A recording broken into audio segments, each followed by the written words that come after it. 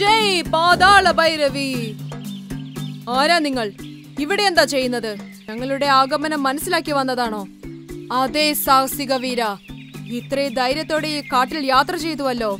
നീ അന്വേഷിച്ച നിധി നിനക്ക് കിട്ടിയിരിക്കുന്നു ഡിംബക്ക. ജയ് പാതാള ഭൈരവി. പാതാള കോണത്തിലേക്കുള്ള വഴി ഇത് തന്നെയല്ലേ? നിങ്ങൾ എന്താ ഇവിടെ ചെയ്തുകൊണ്ടിരിക്കുന്നത്? ഈ ലംബോ ജംബോ കട്ടപ്പ എല്ലാ അപകടങ്ങളും അതിജീവിച്ചിട്ടുണ്ട്. നിങ്ങൾക്ക് അത് അറിയില്ലേ? നോക്കൂ ബാലക. പാതാള കോണത്തിലേക്ക് പ്രയാണം ചെയ്യണമെങ്കിൽ അതിനു മുൻപ് പാതാള ഭൈരവിയെ നമസ്കരിക്കണം. അതിനുശേഷം ആയുധങ്ങൾ കൊണ്ടുപോയാൽ മലയടിവാരത്തുള്ള പിശാചുക്കളുമായി ഏറ്റുമുട്ടേ. നിങ്ങൾക്ക് ആവശ്യമുള്ളത് കൊണ്ടുപോകാം ആയുധത്തെ മാത്രമേ പിശാചിന് പേടിയുള്ളൂ.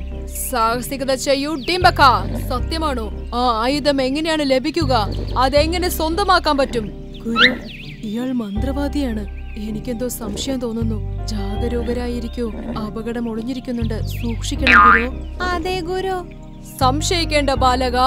നിന്റെ ഫലം എന്താന്ന് ഞാൻ മനസ്സിലാക്കുന്നതിനു വേണ്ടി എന്റെ ദിവ്യദൃഷ്ടി മൂലം നീ ഒരു പിശാചിനെ വകവരുത്തിയപ്പോൾ മനസ്സിലാക്കി. സാഹസികത ചെയ്യൂ ഡിമക്ക ഞാൻ പറയുന്നത് പോലെ ചെയ്തു കഴിഞ്ഞാൽ നിനക്ക് വിജയം ഉറപ്പാണ്.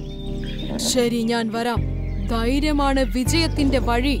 സാഹസിക വീര ഡിംബക്ക ഞാൻ പറയുന്നത് പോലെ ചെയ്യ്. ആദ്യം ആ മലയിലേക്ക് പോകൂ. അവിടെ ഒരു മരമുണ്ട്. അത് പല നൂറ്റാണ്ടുകൾക്ക് മുൻപുള്ള അത്ഭുത മരമാണ്. നീ അത് കടന്നു പോയാൽ നിനക്ക് ആയുധം ലഭിക്കുന്നതായിരിക്കും. അതെടുത്ത് അമാവാസിയുടെ ദിവസമാണ് നീ പോകേണ്ടത്. ജയ് പാതാള ഭൈരവി. പട്ടപ്പ ലംബോ ജംബോ നിങ്ങൾ മൂവരും ഇവിടെ തന്നെ ഇരിക്കൂ. ഞാൻ ഈ മന്ത്രവാദി പറഞ്ഞതുപോലെ പാതാള ഭൈരവിയെ നമസ്കരിച്ച് പിശാചിനെ വകവരുത്താനുള്ള ആയുധം കൊണ്ടുവരാം. എനിക്ക് പേടി തോന്നുന്നു ഗുരു. ആ മന്ത്രവാദി എന്തു പറഞ്ഞാലും നിങ്ങൾ അത് ആലോചിച്ചു വേണം ചെയ്യാൻ. അങ്ങനെ തന്നെ ചെയ്യാം കട്ടപ്പ. നീയും ലംബോ ജംബോ ജാഗരൂകരായിരിക്കൂ.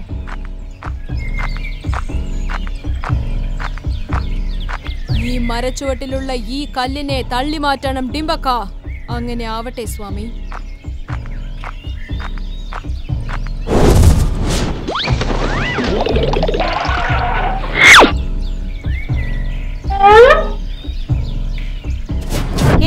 പോകാമെന്ന് കരുതി വന്നതാ. ആദ്യം നീ എന്നോട് ഏറ്റുമുട്ട്. ഏയ് നിനക്ക് ജീവൻ വേണമെങ്കിൽ എന്റെ വഴിയിൽ നിന്നും മാറ്. അയ്യോ എന്നെ ഒന്നും ചെയ്യല്ലേ? ഞാൻ നിന്റെ കാലിൽ വീഴാം. ബേഷ് സാഹസിക വീര ഡിംബക്ക. പാതാള ദേവിയെ മനസ്സിൽ ധ്യാനിച്ച് നീ ആഗ്രഹിച്ചു ചെയ്യൂ. സാഹസികത ചെയ്യൂ ഡിംബക്ക.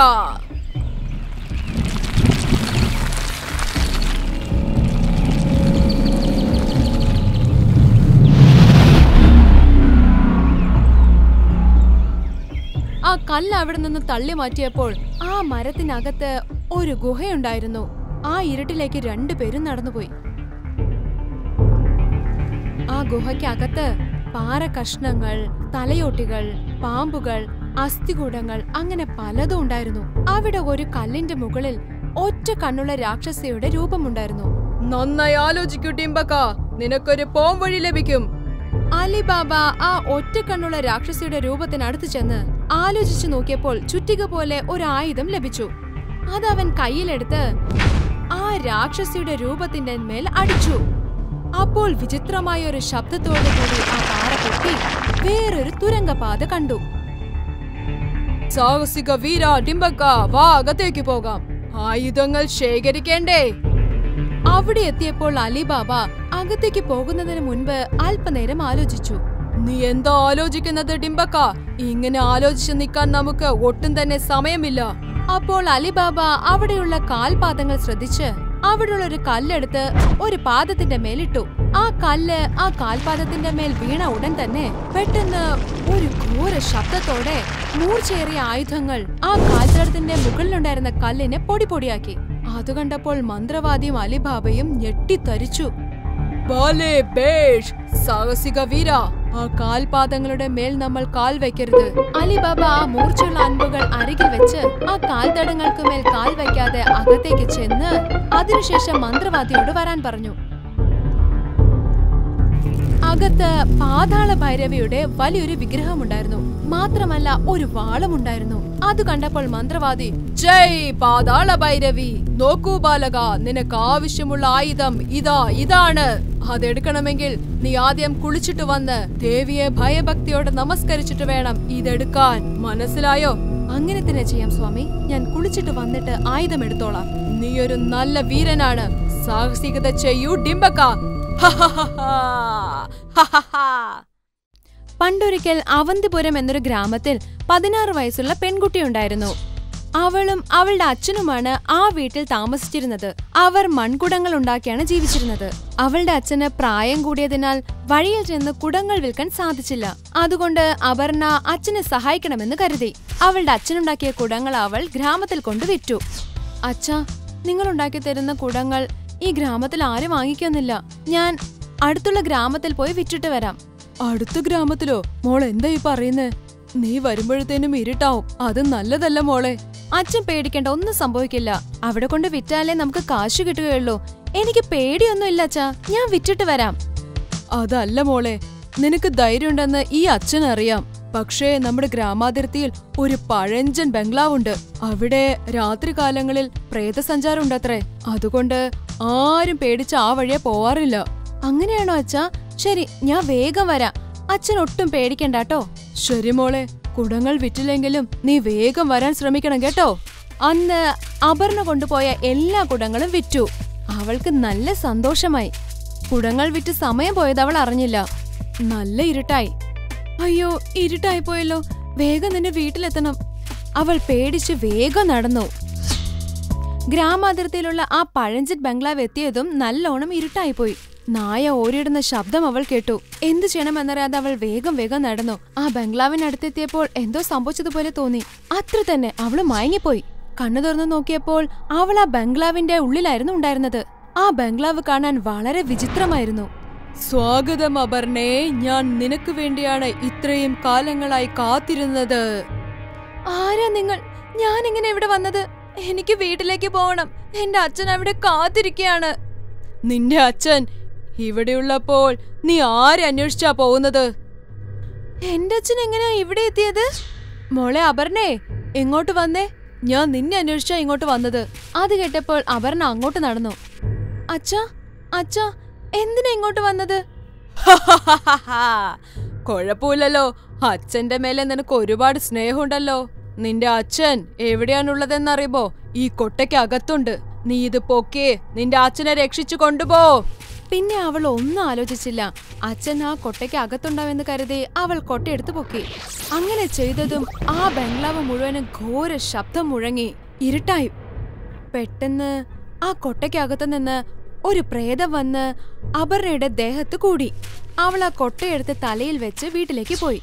മോളെ അപർണ നീ എത്തിയോ? ഞാൻ നിനക്ക് വേണ്ടിയാ കാത്തിരുന്നത്. ആണോ അച്ഛാ? ഞാനിതാ എത്തിയില്ലേ? നിങ്ങൾ കഴിച്ചോ? എനിക്ക് നല്ല വിശപ്പുണ്ട്. എന്തെങ്കിലും ഭക്ഷണം എന്താ അച്ഛാ? ഞാൻ കഴിച്ചു മോളെ. ഇന്ന് പച്ചക്കറി ഒന്നും കിട്ടിയില്ല. അതുകൊണ്ട് അച്ഛൻ എന്തു ചെയ്തെന്നറിയോ? കഞ്ഞി ഉണ്ടാക്കി വെച്ചിട്ടുണ്ട്. കഞ്ഞിയോ? ഞാൻ കഞ്ഞി കുടിക്കണമെന്നോ? അച്ഛൻ എന്താ ഈ പറയുന്നത് എനിക്ക് ഇപ്പോൾ തന്നെ മീൻകറി ഉണ്ടാക്കി തരണം. അപർണ എന്താ ഇങ്ങനെയൊക്കെ സംസാരിക്കുന്നത്? എന്ന് അവളുടെ അച്ഛൻ വിചാരിച്ചു. നാളെ ഉണ്ടാക്കി തരാം മോളെ. എന്ന് പറഞ്ഞ് അദ്ദേഹം കിടക്കുമ്പോൾ ആലോചിച്ചുകൊണ്ടേയിരുന്നു. അപർണയും അകത്ത് കിടന്നുറങ്ങി. കുറച്ചു സമയം കഴിഞ്ഞപ്പോൾ അപർണയുടെ ദേഹത്തുണ്ടായിരുന്ന പ്രേതം പുറത്തു വന്ന് ഒരു കുടത്തിനകത്ത് കയറി. അത് കണ്ടപ്പോൾ അപർണ പേടിച്ച് അലറാൻ തുടങ്ങി.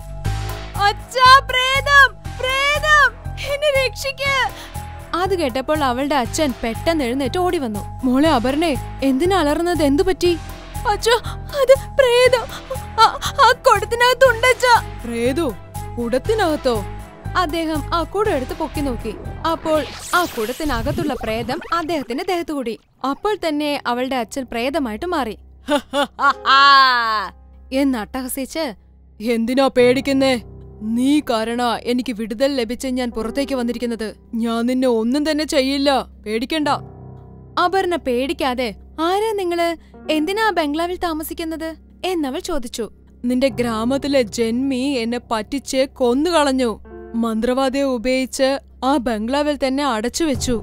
അന്നു മുതൽ ഞാൻ ആ ബംഗ്ലാവിൽ തന്നെയാ താമസിക്കുന്നത്. എന്നെ പേടിച്ച് ആരും അങ്ങോട്ട് വരാറേ ഇല്ല. നീയാണ് വന്ന് എന്നെ അവിടെ നിന്ന് രക്ഷിച്ചത്. അതുകൊണ്ട് നിന്നെയും നിന്റെ അച്ഛനെയും ഞാൻ ഒന്നും തന്നെ ചെയ്യില്ല. ആ ജന്മിയുടെ വീട്ടിലേക്ക് എന്നെ കൊണ്ടുപോ. ഞാൻ നിന്നെ കൊണ്ടുപോയാൽ എന്റെ അച്ഛനെ നീ വിട്ടേക്കുമോ? തീർച്ചയായും ഞാൻ നിന്റെ അച്ഛനെ വിട്ടേക്കാം. നിനക്ക് സമ്മാനമായി ഞാൻ സ്വർണ നാണയങ്ങളും തരാം. ഇതാ എന്നെ കൂട്ടിക്കൊണ്ടുപോ. ശരി നമുക്ക് പോവാം എന്ന് പറഞ്ഞ് അവൾ ജന്മിയുടെ വീട്ടിലേക്ക് കൊണ്ടുപോയി. ജന്മി അവിടെ കിടന്ന് ഉറങ്ങുകയായിരുന്നു. ജന്മിയെ കണ്ടതും പ്രേതത്തിന് നല്ല ദേഷ്യം വന്നു. എന്നെ പറ്റിച്ചു കൊന്നു കളഞ്ഞിട്ട് കിടന്ന് ഉറങ്ങാണല്ലേ നിന്നെ ഞാൻ വിടില്ല. എന്ന് പറഞ്ഞ് അവളുടെ അച്ഛന്റെ ദേഹത്തു നിന്നും പുറത്തു വന്ന് ജന്മയെ ഒറ്റ കൈകൊണ്ട് പൊക്കി. ആരാ നീ? പേടിച്ചെഴുന്നേറ്റു ജന്മി. എന്നെ മനസ്സിലായില്ലേ?